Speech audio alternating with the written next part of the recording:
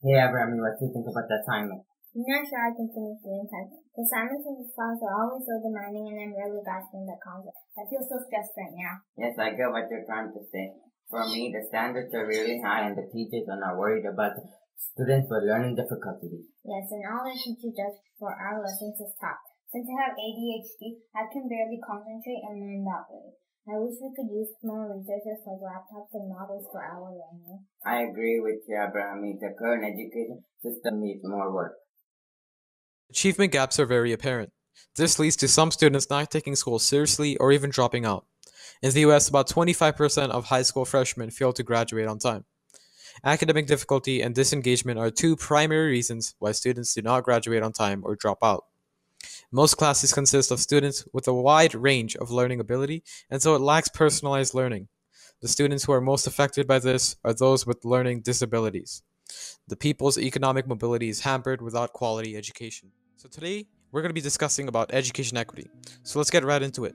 Firstly, Matherin, what is education equity, and is it any different from education equality?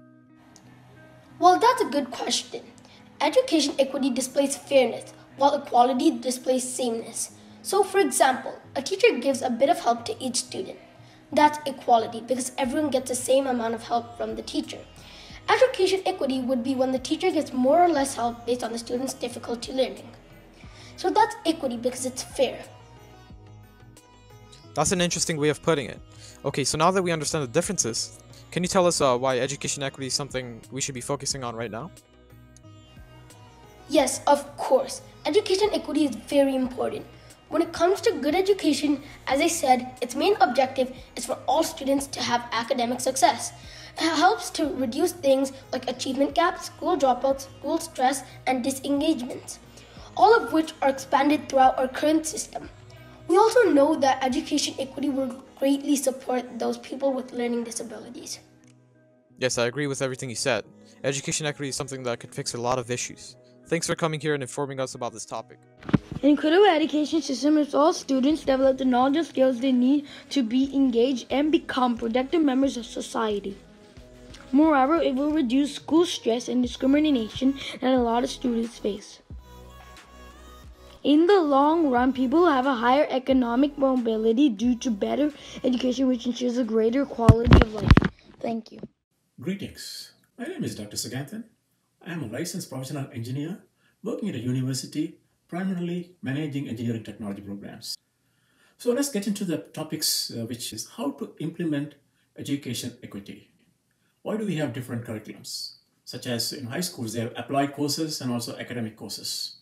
So applied courses focus on the application of theory with projects and labs and you know things like that. Where academic courses, they pave the way to do more research. To give you an example, Let's say if you want to learn about a specific tool to configure and operate with different options, that would be simply covered in an applied course. But if you really want to learn how to make improvements to design of the tool, that would be covered in academic courses. So to answer this question, uh, courses can be configured and implemented using LMS, uh, which stands for Learning Management Systems, such as Blackboard, Canvas, and eCollege. These systems provide the flexibility to access the material online and it can support both on-site and online learning modalities. The programs could read the text for students who are visually impaired. There are many features in these platforms which enable schools and higher educational institutions to configure based on the needs of their students. Let's move into the third question, diversify the curriculum. And why? A curricular design should include content that should be based on the DEI principles for diversity, equity, and inclusion. Technology-based curricula should be updated periodically to be aligned with current technologies. The examples could include diverse perspective of people, countries, and technology. This would help the students to see the connectivity such as how the curriculum is applied in various real-world applications. Thank you.